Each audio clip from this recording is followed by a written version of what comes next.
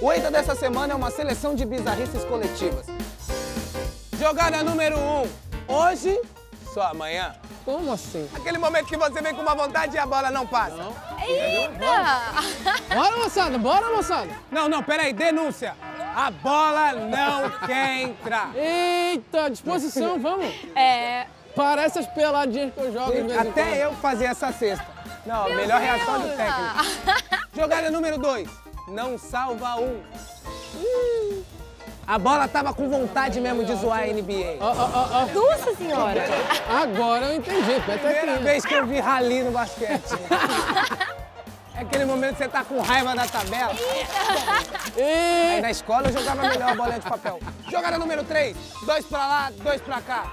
Opa, não solta não. Kawhi passou no bloqueio, Qual é o nome dessa jogada aí? Seu medo! Super cola.